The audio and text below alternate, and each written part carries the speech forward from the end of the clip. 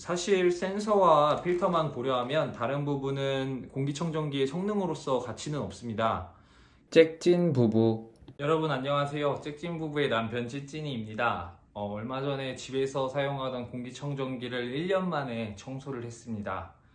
어, 정말 공기청정기를 뜯어서 청소해야겠다는 생각을 못하고 있었거든요.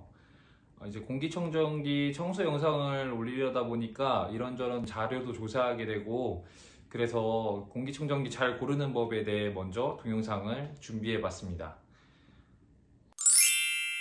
어, 일단 공기청정기는 정말 왜 비싼지 알 수 없을 정도로 좀 단순한 구조로 이루어져 있습니다.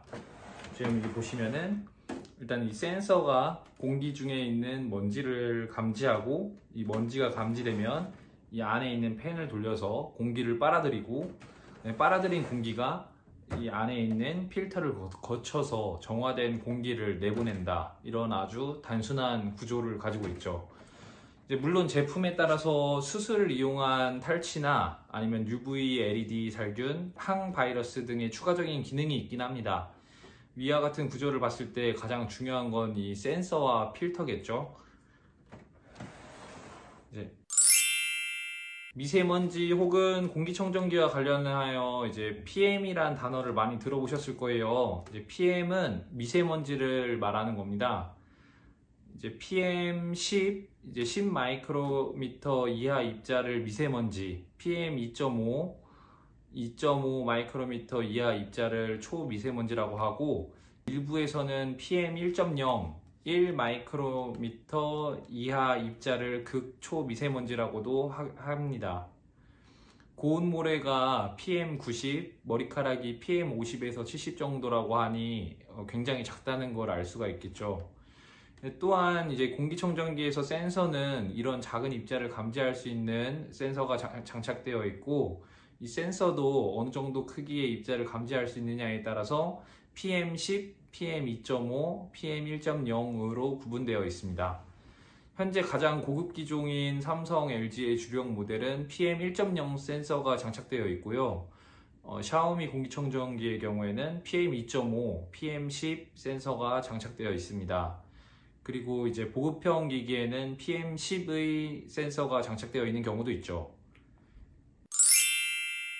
여기서 헤파 필터와 울파 필터에 대해 알아볼 필요가 있습니다. 이제 헤파 필터는 0.3 마이크로미터 이상의 입자를 제거할 수 있는 고성능 공기 필터를 말합니다. 등급별로 제거할 수 있는 정도가 다르지만 H13 등급이면 0.3 마이크로미터 이상의 입자를 99.95% 제거할 수 있고 바이러스까지 걸어낼 수 있어서 가장 대표적으로 사용하고 있습니다.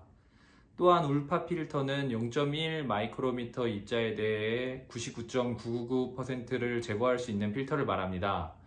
더 작은 입자를 제거할 수 있다는 장점이 있으나 그 효율이 낮아 수술실 등 특수한 장소에서 사용됩니다.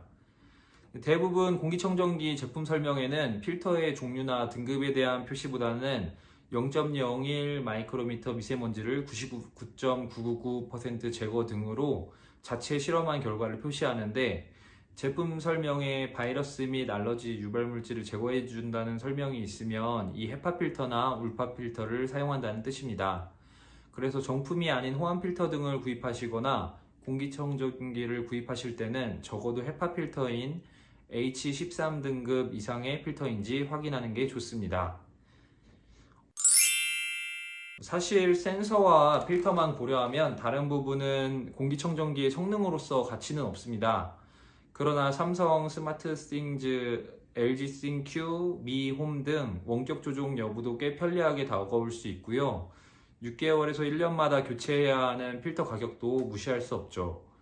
또한 집 인테리어와 디자인도 어떤 분들에게는 중요한 요소가 될 것 같네요. 공기청정기를 구입하기 전에 제조사의 홈페이지에서 제품 설명을 꼭 참고하시기 바랍니다. 우선 헤파 필터는 0.3 마이크로미터, 울파 필터는 0.1 마이크로미터 크기의 입자까지 걸을 수 있는 성능이지만 시중에 판매되는 공기청정기의 센서는 1.0 마이크로미터를 감지할 수 있는 PM1.0이 가장 좋은 제품입니다.